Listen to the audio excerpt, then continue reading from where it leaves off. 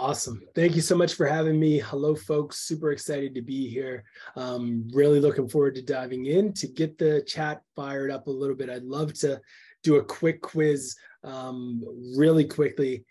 Those who are in attendance, just a quick show of hands, like thinking about your content marketing engine, thinking about how much um, time you, your team spend on creation versus distribution what would you say is the split? Like what percentage is spent creating versus what percentage would you say is spent distributing um, the content? I think a lot of us have fallen into the, the world of create, create, create. And I'd love to know how many of you are spending a lot of time creating versus distributing. I see Kelly's 40% creating, very cool. Um, that's a great distribution spread. Uh, Eric, 80% creating, very cool. Jay 40 60, Kayla 70. Nice. Okay. I think across the board, a lot of organizations would say like the vast majority of their time is spent creating. Ashley's coming through with 90% creating, 10% distributing. And this is common across the board. Like a lot of organizations are in this spot where the vast majority of the time is spent creating. And for this, I have to apologize. I really do. I have to start by saying sorry. Not sorry because I'm a Canadian and I probably over apologize for everything. Um, and not sorry because I didn't wear my typical uniform, which includes suspenders. I'm sorry because over the years, I can think back to probably 2014, where myself and a lot of marketers have gone around on stages, on podcasts, telling organizations that all they need to do to be successful is create content. Just write blog posts, create blog posts, and you will be successful. Write more blog posts, create more blog posts. I was guilty as charged as being one of those people who were going around telling folks, if you don't write blog posts, you're going to fail in business. And as a result of that, a lot of teams, a lot of companies, a lot of marketing executives are going into the boardrooms of CMOs, of CFOs, of COOs, and all of the CCCs. They're going into all of these rooms and they're telling them that this is their strategy. Their strategy is essentially a content calendar where they're just writing a bunch of blog posts or they're just creating blog posts hoping that this is going to drive results. We're going to write some how to content, we're going to create some SEO content. And if they're thinking a little bit strategically, they might even say we're going to create some content that has the intent of generating backlinks. This is the current landscape today. With the rise of AI tools, more and more companies are saying, I'm going to use AI to just write a bunch of blog posts and the world will be mine. And when you hear me say this and you hear me say, this is wrong, this is broken, I don't want you to say and go out and say, oh, Ross is telling everyone that they shouldn't blog. I'm not saying that at all. I'm not saying go start tweeting, don't blog. Ross is not telling the world that they shouldn't blog. Blogging is still an amazing opportunity. Blogging still works extremely well. But when you're thinking about SEO, it is very limiting to fall into the trap of believing that blog posts are the only way to fall into the trap of thinking that creating blog content is all you have to do, that if you write some blogs, then the world will be yours. Because at the core of it, you have to understand that a true, solid SEO strategy, content marketing strategy is rooted in more than just creating content. The industry at large, content marketing, is two words. It's not just content, it's content marketing. And today, my hope is simple. My hope is to ensure that every SEO every creator, every marketer starts to shift the way in which they think about content marketing and SEO to start realizing that it's time for us to put marketing back into this industry because that is at the core of what we do. We are marketing. We are producing content that is intended to be marketed, to drive a marketing result. And the way that you do that is understanding things like research, distribution, optimization, and yes, creation. You can look at companies like Masterclass and say, Ross, what are you talking about? How are you going to say that blogging doesn't work? It does work. I am saying that blogging does work, but it cannot be rooted in just this idea of I'm going to ask ChatGPT to give me some blog post ideas and then write every single idea that they give you.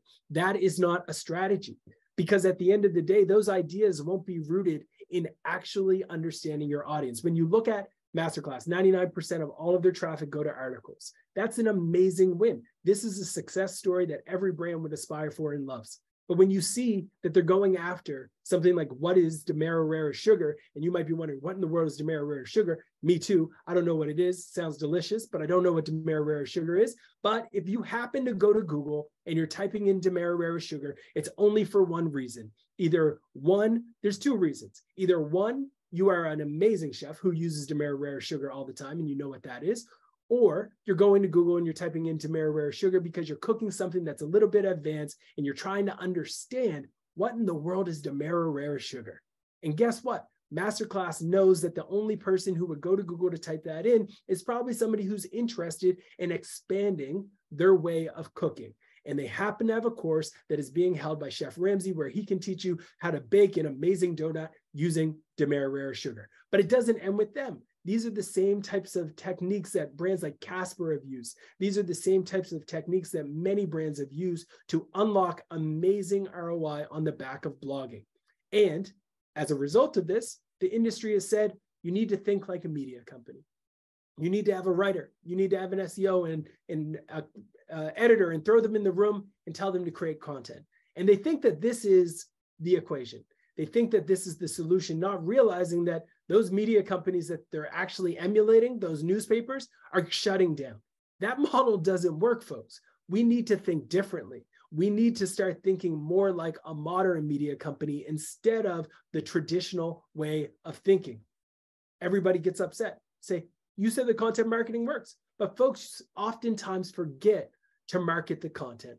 You have to think holistically when you are running a content marketing engine.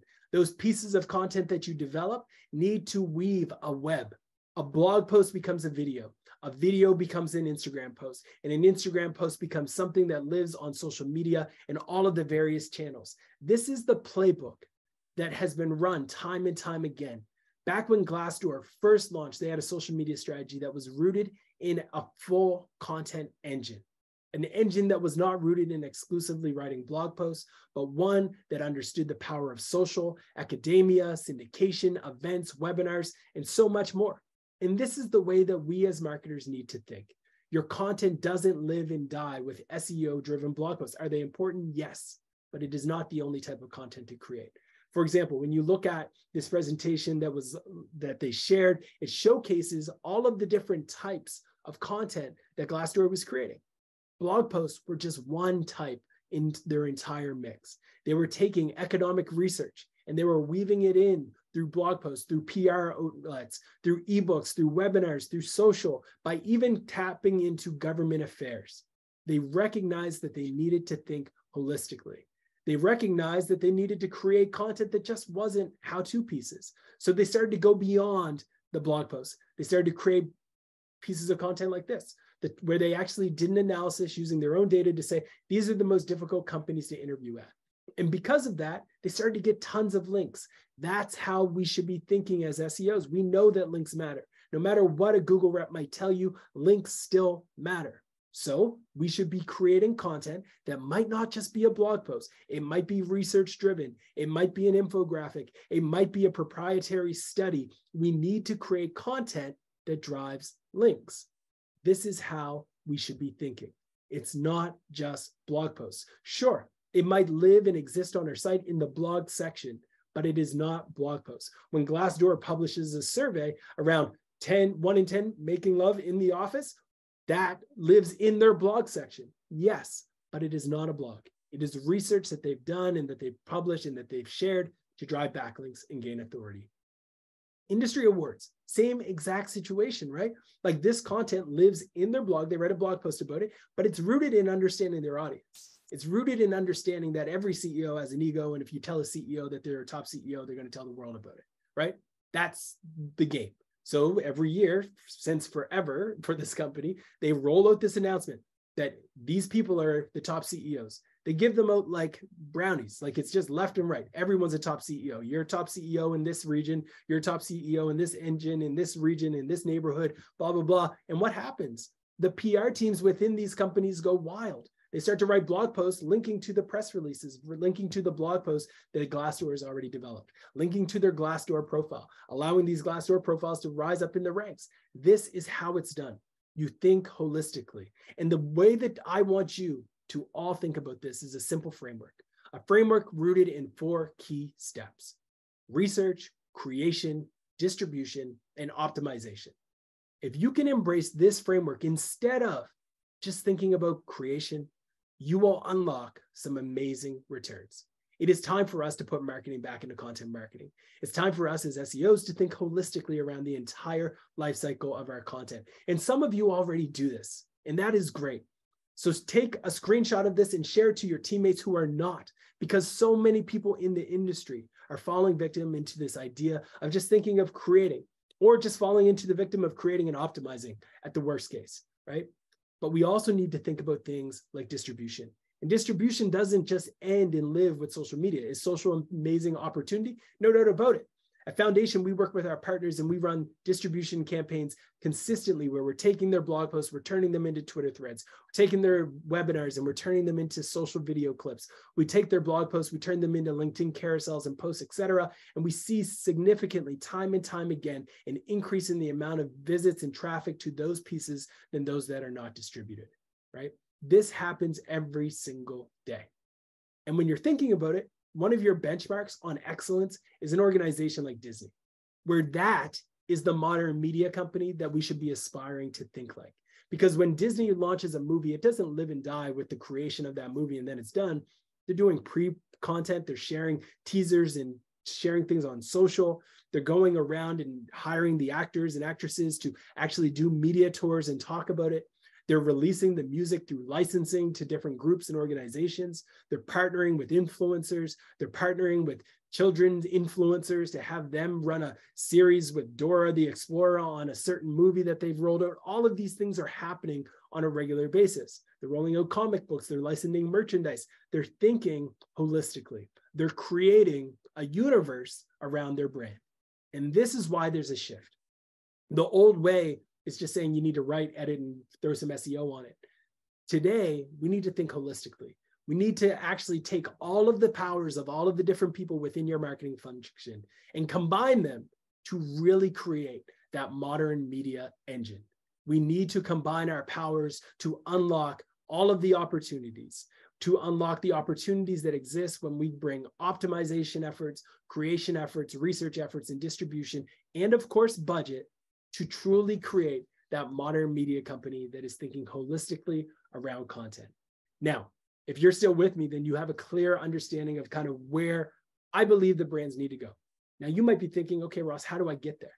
How do we actually make the move, move the needle to make all of this come to fruition and come to life? How do we get to this standpoint where we are embracing the idea of research, creation, distribution, and optimization? I'm so glad that we have the opportunity to dive into this because we're going to get very tactical. We're going to get into the weeds, and the presentation will be shared so you can dive into this again a little bit later. But let's jump into exactly how you do it. It starts with research. And I think all of you will probably know this, but researching the actual intent behind why people are doing the things that they do online is something that should probably be taught in universities and colleges around the globe. It's actually that important, but we don't think about it that way. But search intent at its core is one of, in my opinion, the most important psychological concepts that humans and marketers should actually understand. Because if you understand the search intent behind people, you can understand how to satisfy that search intent through your content. Not only that, as a human, it makes it easier to navigate the internet, and nobody will ever ask you if you Googled something because you know how to Google everything and you know how to get to where you want to be. But the things that you can look for are essentially falling into these four buckets informational content, commercial investigation, navigational, or transactional. And when you are ultimately diving in to better understand your customers, you should be asking yourself, what are the things that they are typing across the board with all of these different keywords? When they're trying to get a guide in our space, in our niche, what are they typing into Google? What are they asking in Google? When they're trying to make a decision around your product versus the next, are they typing in best variations of your industry, best variations of your space and your offering, your service, your product? These are the things that they're typing in. If they want to reach your website in particular, they might just type in your name. They might type in an offering that you have. Or if they're further down the funnel, they might start looking for pricing or discounts and things like that. These are the things that you need to understand. These are the things that you want to consider as you are starting to build out the research around your strategy. But it doesn't end there. A lot of people would say it does, but it doesn't. You also want to do things like Reddit research. I love doing Reddit research because it gives you the ability to better understand what I would call content market fit. What is content market fit? Content market fit is when you have an audience that you want to influence, an audience that you really want to create content that they will love, they will adore, and that they will appreciate that you have developed it. That's the market that you want to connect with. If you can create content that this audience loves every single time, you have content market fit. And Reddit is one of the best places to go to get there. The Reddit is also a great place to get told where to go and how to get there. So you have to tread lightly. But Reddit is an amazing channel. It's an amazing channel for research. If you go to Reddit today, right now, and you type in site colon your URL or a competitor's URL or any website that you like, and you sort that content by top posts, the results that you are going to see are the most influential and interesting pieces that Redditors found on that website. And that's amazing because Redditors are harsh critics. But if your content is showing up in the top posts, then you have struck lightning. You have identified a piece of content that has content market fit. For example, this piece, HubSpot, you type in their site, you type in their URL. This piece on Ben and Jerry is the top post that they have ever published on Reddit. It was created six years ago. Do you know how long ago that is? I had zero gray hair six years ago. Lots of changes happened in my life. I might have read that post back then, but I don't even remember it. You fast forward to today, HubSpot can take this exact same piece, this exact same blog post, share it as a Twitter thread, re upload it with a new spin, a new take, upload it to the exact same subreddit, share it, and guess what? It's going to go right back to the top. Why? because humans are still the same chemical makeup that we were six years ago than we are today. And we still get invoked and inspired by the same types of stories over and over again. This is the reason why Disney can continue to roll out multiple movies about the Lion King decade after decade and continue to smash records hits. It's because we as people just want a good story. And a good story is a piece of content that has content market fit this is what we should be doing. We should be thinking about this type of content and then creating content and stories that ultimately are going to move the needle for our brand. You go into these subreddits, you smash that all time setting, and it's going to give you all of the best content within a specific subreddit of all time. So let's say I want to create content that resonates with SEOs. I go to Big SEO, one of the top SEO subreddits. I sort content top of all time, and it's going to show me that news about Google is ranking number one in subreddits on big SEO for content. So, what does that tell me? It tells me maybe I should be considering creating breaking news around algorithms, around changes, around double E-A-T, all of those things. That's the type of content that our brand should be creating if we want to be present, elevate our brand, and have an opportunity to connect with the people in this subreddit regularly. That is the model. You have to embrace research. But again, it doesn't end there, folks, either, right? Go into Facebook groups, go into communities where people are spending time. I love Facebook groups. I love Facebook groups because when you go into them, you can see within subsections, let's say a community and a group that is tailored around SEO or tailored around a certain topic like B2B marketing, you go into that group and you can see a post like this, where this person is saying, let's talk about TikTok.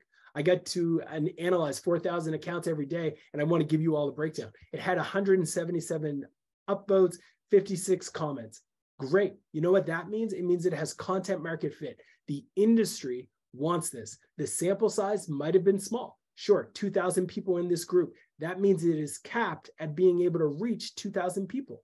I see this. I then say, all right, I'm going to create an ultimate guide to TikTok, TikTok marketing. I'm going to analyze 5,000 accounts and I'm going to create a report on that.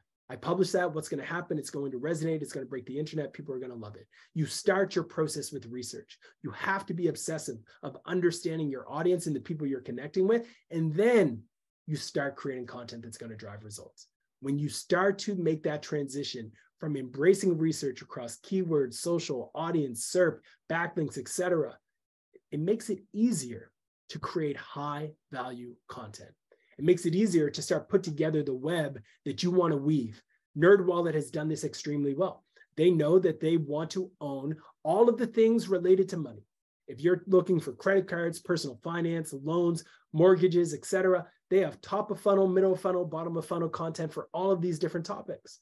And they have done this extremely well because they know that these are the things that their audience wants. So they've structured their site appropriately. They've ensured that the internal linking is done correctly. All of the basics get taken care of. Then they understand and they research what stories are relevant, what do people care about, what do people want, and then they press publish on these pieces of content. But we have to keep in mind, folks, not all brands are the same. Not all content is created equal. Not all audiences are created equal. Some brands, this type of content is going to work extremely well. For NerdWallets, it's allowed them to become NerdWallet, amazing business, right? For you, it might not work as well. You might have to ask yourself, is your business a little bit different? Because when you look at companies like Stripe, their blog doesn't do nearly as well as their documentation guides because their audience is different. They're targeting engineers.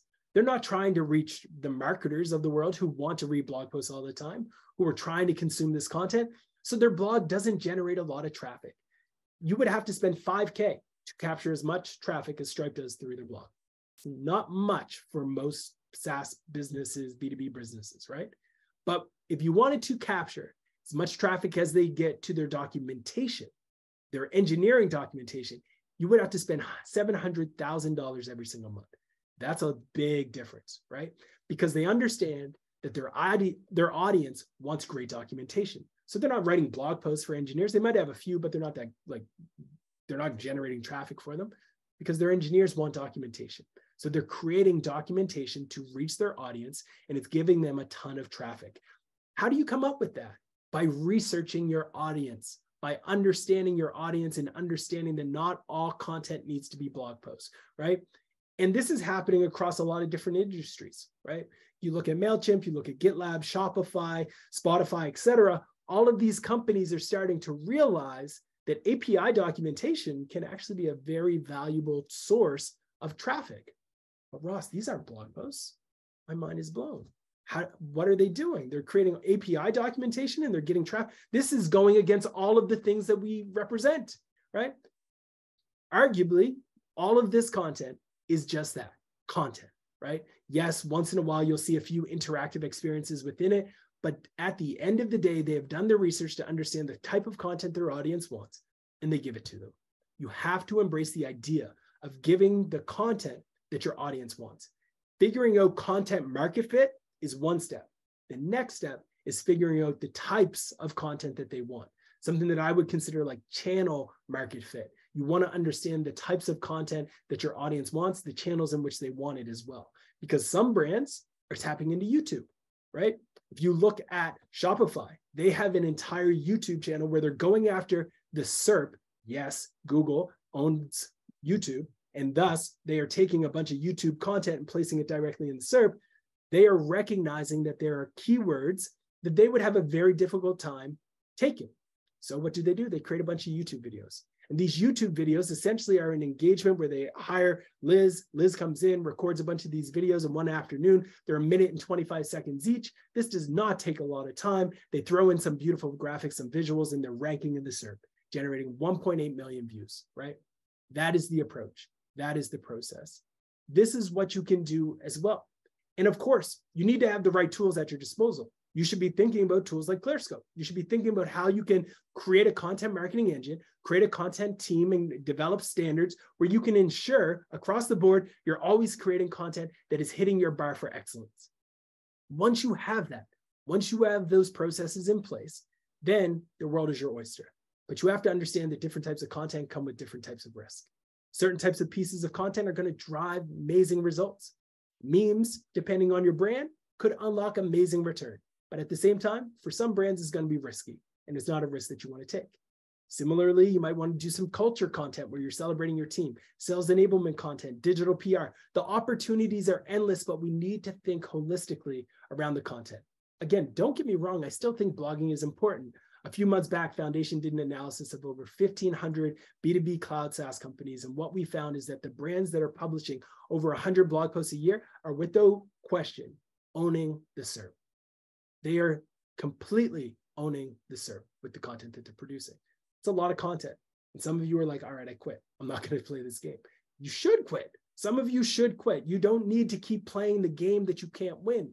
If you can't win that game, then try something else. There are a ton of arbitrage opportunities in things like TikTok. There are tons of arbitrage, unless it gets banned, and it might get banned in some places. That's a different discussion. But you could also go on YouTube. You can also look at Twitter. You can look at different ways to unlock opportunities, right? More content does drive results. but you have to also ensure that that content is being distributed.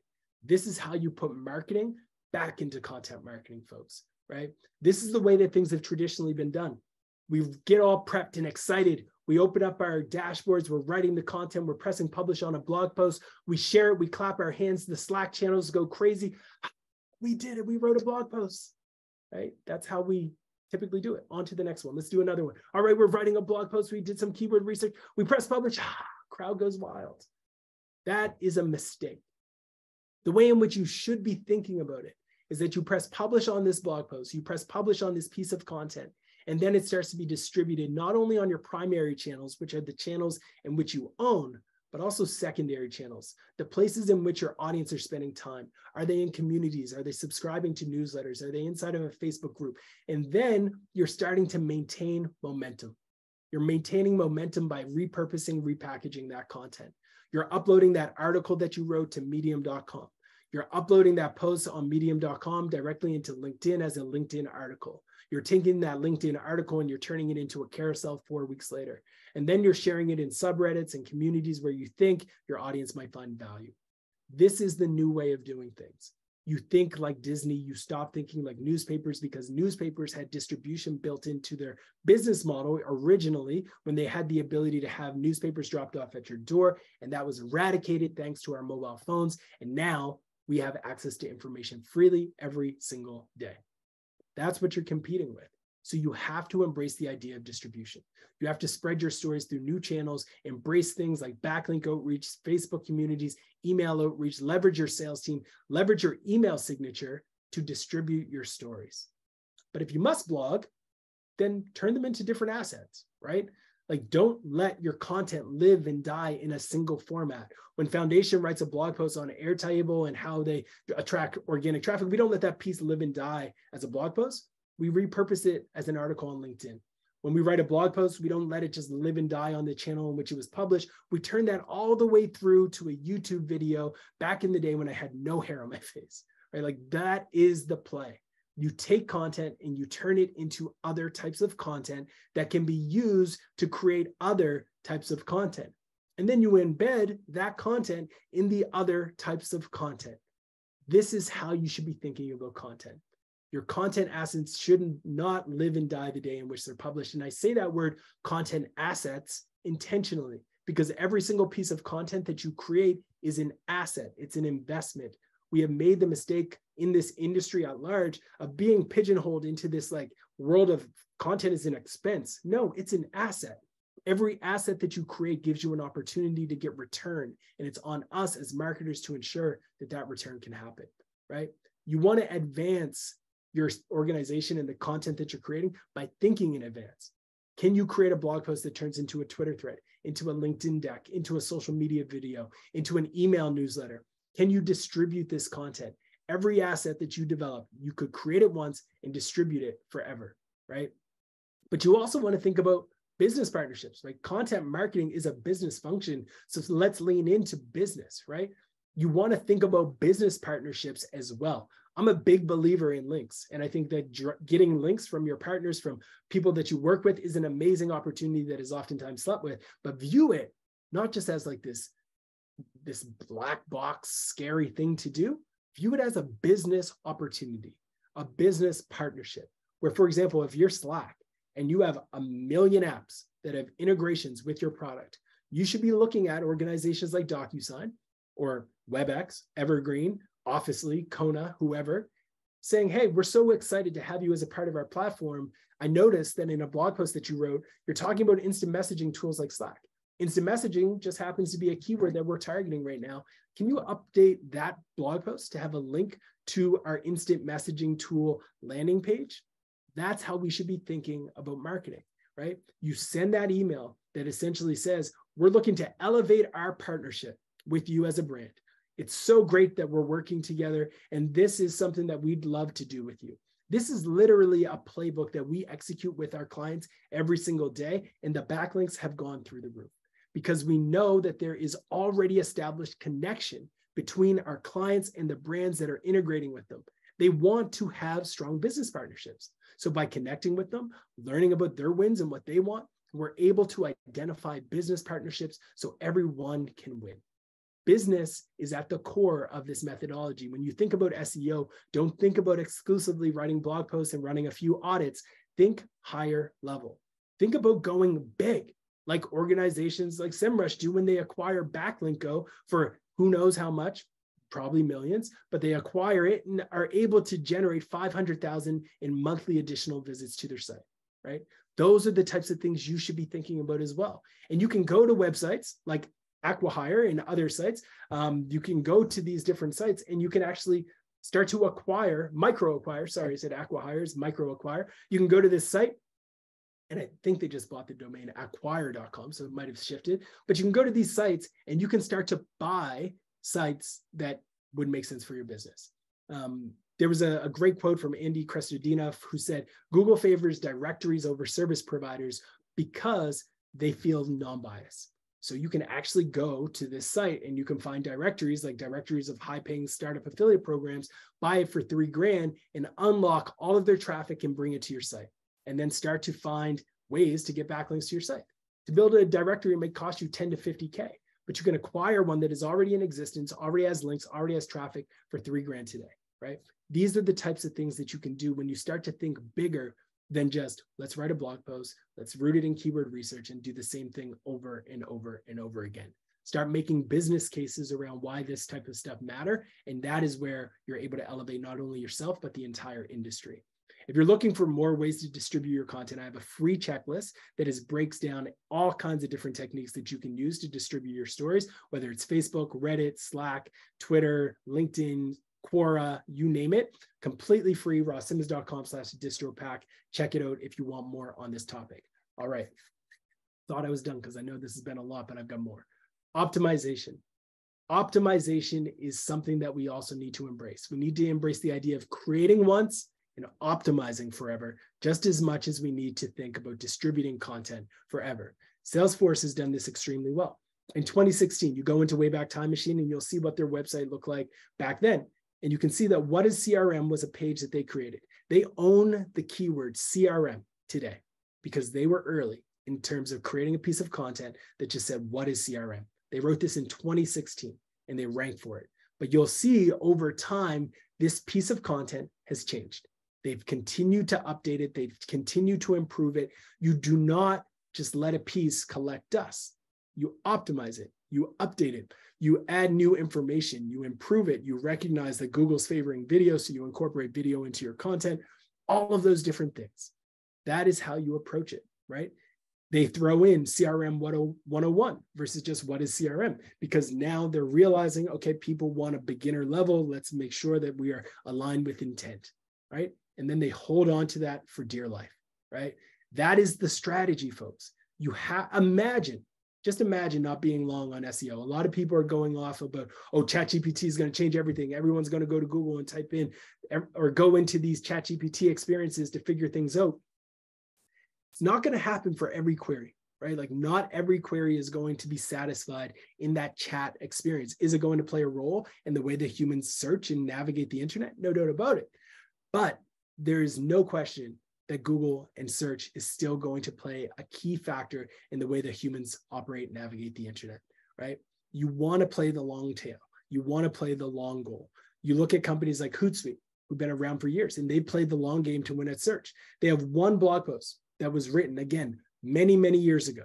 They wrote this original post, I believe, back in 2016, right? And then since 2016, this piece has been able to capture for them more than 22 million visits. That's 22 million potential people who visited their site, learned about Hootsuite, consumed their content, learned about this information, linked to it or some variation, all because they continue to optimize it.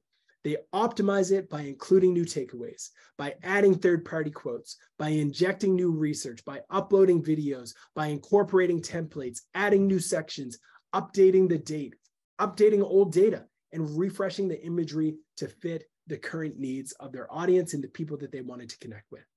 This is how it's done. So when you're thinking about optimizing your content, create a checklist, right? Like you look at the rise of double E-A-T.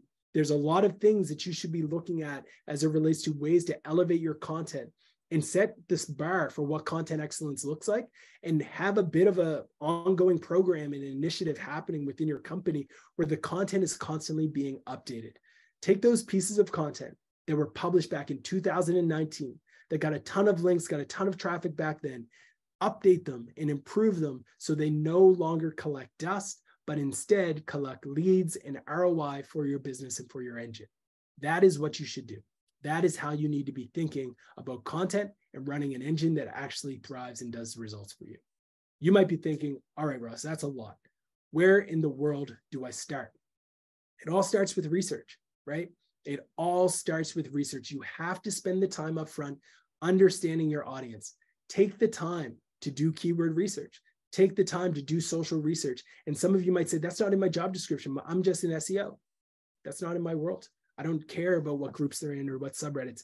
That is a part of your job. Because at the end of the day, the search behaviors are actually changing.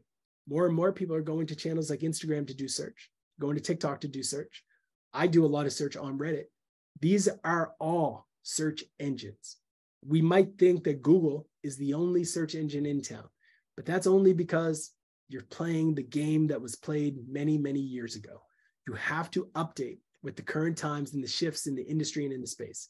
And that means shifting to a model where you actually start thinking like a new age media company, right? You throw out this idea of thinking like a traditional media company and start embracing an idea of embracing a strategy that is rooted in research, creation, distribution, and optimization. And of course, you're going to need the budget. And if you have that, if you have the budget, if you're embracing these four steps along your framework of ensuring that you're constantly thinking this way, you will be able to unlock some amazing resources and some amazing results. But you can't do it alone. You might be the only person from your team that just heard this presentation. You might be the only person on your team that actually hears this and thinks it's time for us to put marketing back into back into content marketing. You might be alone. Don't try to go alone you have to embrace the idea of sharing this entire presentation with your team. Spread it around the company, spread it around the org. Give this exact same presentation with your own voice, your own tone. Do whatever it takes to make more people realize that the only way for marketing to be done extremely well is to think about those four factors research, creation, and distribution. And if you do that and you combine all of the powers within your organization, you will truly have a content marketing engine that thrives. Thank you so much for your time. I really appreciate you taking the time out of your busy day to hear me speak and talk about marketing. If you have any questions, by all means, drop them in the chat. I'd be happy to share and answer some of your questions uh, over the next little bit. So thank you all so much. Really appreciate it. Yeah, awesome job, Ross. That was uh, that's fantastic. We do have a couple questions uh, that we can kind of jump into. Awesome. Let's do it. Yeah, the first one's from Kelly, she says, do you recommend smaller content teams in B2B um, outsource some of them or some of these columns for like research, create, distribute, optimize, or divvy it up, mm. uh, the focus among a team? Yeah, I think um, there was way back in the day, um, my dad always used to tell me like it's better to have um, one good kid than two bad. And what I would advise every organization to do is to think about like what can you be really really good at in terms of those four buckets and be okay owning that because the worst thing that you could do is try to divvy it all up and then be mediocre at everything. So what you want to do is first establish excellence in one of those buckets. If you're great at research, then great, own that and then outsource the rest. But if you can be excellent across all four, then amazing. Let's do it. Let's go. Right. But you have to take some time to reflect internally and think, what can we actually be great at? Can we be great at creation? Can we be great at distribution? And you also have to be okay telling yourself that maybe you're not that good at a certain thing. Like you have to be comfortable having that dialogue. Um, but a lot of organizations outsource the research um, and get an, an outside perspective on strategy.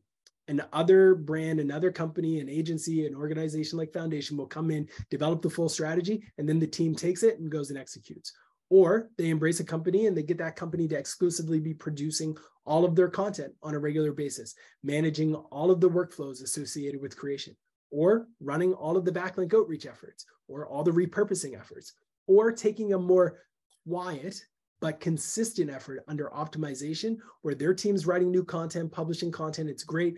But in the background, there's an agency or a freelancer who's optimizing their pieces every single quarter to ensure that internal links are strong, that the dates are strong, that um, double E-A-T best practices are being embraced, all of that stuff. So um, it's a really individual answer. Um, it comes down to your own situation, but don't try to do it all if you cannot.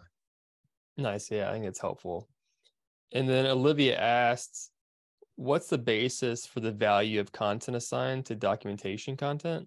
Um, is it based on revenue that drove from conversions to purchases? Great question. So it's based off of the um, total CPC savings. So um, all of the keywords that in that slide in particular, their blog was ranking for had a total value of I think I said 7K or something like that. Um, that's how much you would have had to spend on Google Ads to acquire that much traffic for those keywords that they were ranking for. For the documentation side, they had created so much documentation that if you were to spend in Google ad dollars, CPC times the average keyword that they were ranking for, you would have to spend that much money, 700 grand, I think I put, um, to capture that traffic on a monthly basis. So because they had invested in creating that content, they didn't have to spend that on PPC. Nice. Yeah. It's pretty clear. And then another question is we know optimization matters, but what's going to happen when AI is in- integrated into search, like Bing and Google? Um, we are sure the chatbot is pulling the info within the article they take answers from. Um, what will this mean for how you create top ranking content? Means the exact same thing it meant back when featured snippets came out and the entire industry lost their mind right? Like it's the exact same situation. Everybody always loses their mind when the SERP changes. It's going to essentially just require one simple thing. And it's the same thing it meant back then create better content. If you want to win in the game, you have to create better content. Tricks don't work, right? Like you have to just strive to create content excellence. If you set the bar high for your content quality, it's not going to impact you negatively. You're going to ultimately win because you have content that is worth sharing or worth sharing or finding or reading or bookmarking. You're good, right? Like a lot of the fear is rooted in the idea that if we keep creating mediocre content, we're going to lose our traffic. You should. You should. You literally should. There's an old joke where it's like everybody has gone through the world thinking, oh, that you should get applause as a content marketer for just creating content. That's literally your job. You're supposed to create content. Like creating content is what you're supposed to do. You don't get brownie points for that. It's the same way as bragging that you have you're in your kid's life. You don't get brownie points for being in your kid's life. You created them. You're supposed to do that, right? Like that's what you're supposed to do. Same thing exists with content. You're supposed to create good content. And if the content isn't better than the competitors, it means you need to level up. It means you need to improve. Create content that is, as um, Thanos would say, like be undeniable, right? Like that's what you want to be. Be inevitable with your content. Make it that good. It's so clear. Perfect. Um, and another question from uh, anonymous: What are your thoughts about content AI tools versus content create manual content creation? I love them. I think content AI tools are going to accelerate the rate in which humans can create better content.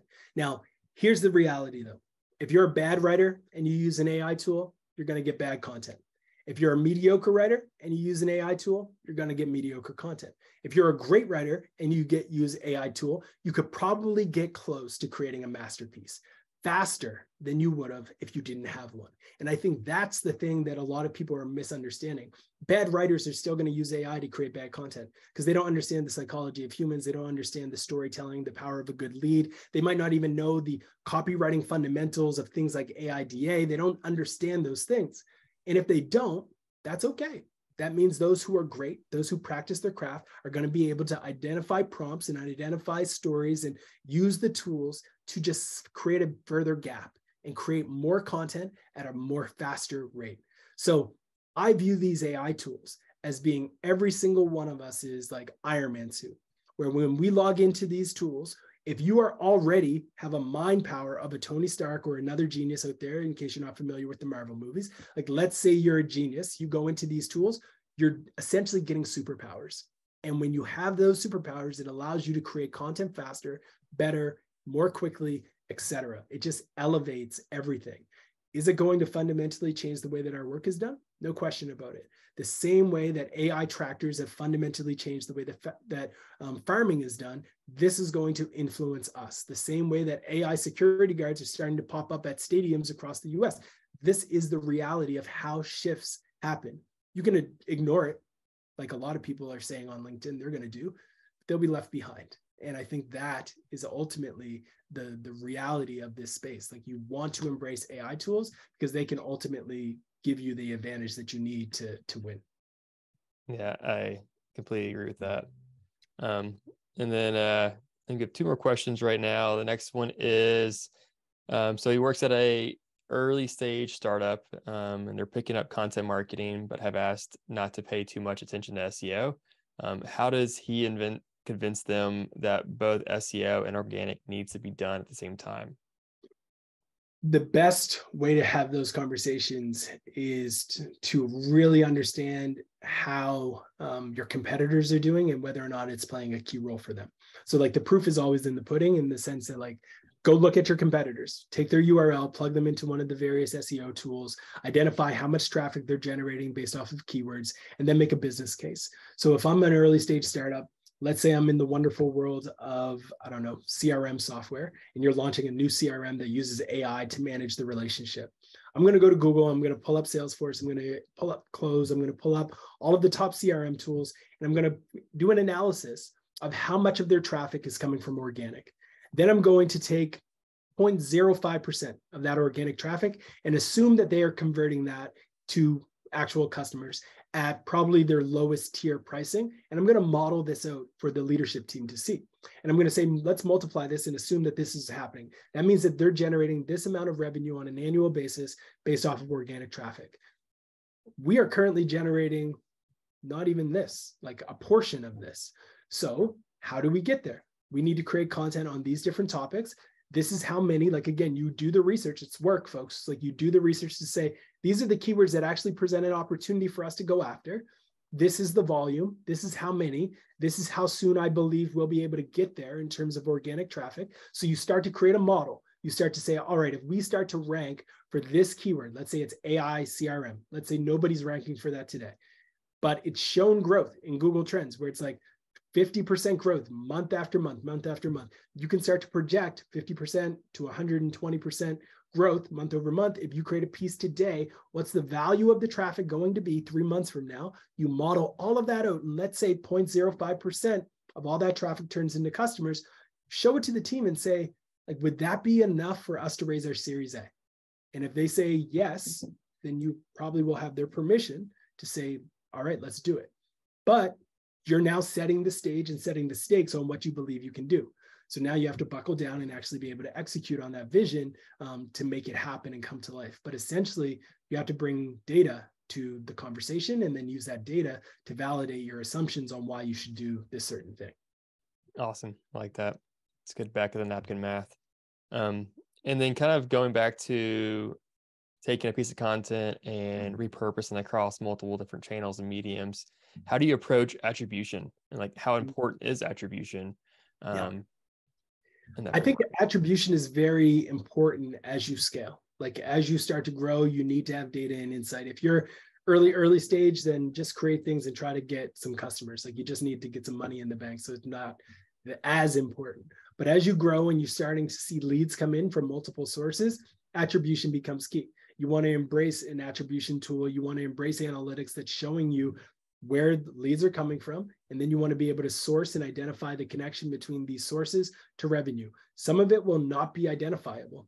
That is okay. You don't need perfection in all of this, right? At the end of the day, you just need some signals, some indicators. You can always ask surveys. You can always have an experience after people buy where it says, like, how did you hear about us? You might get low conversion rates, but at the end of the day, you still converted. So continue down that path and use attribution again to validate some of the techniques and the channels you're using, but don't hold it as like this state of requirement for every single thing to be able to be nicely fit into a certain box. Yeah. Yep. And then this might be the last question. Cool. Do you think the new E in EEAT will elevate importance of an author of the content and influence rankings? Hugely. I think if you, I think one of the low hanging fruits and that everyone should be looking at right now is how they can improve the author pages on their website. Like every single organization should be thinking about their site structure, their site map, and ensuring that their author pages are showing interests, LinkedIn accounts. It's showing a real picture. It's referencing journals that somebody might have published in, um, other publications that they've written for.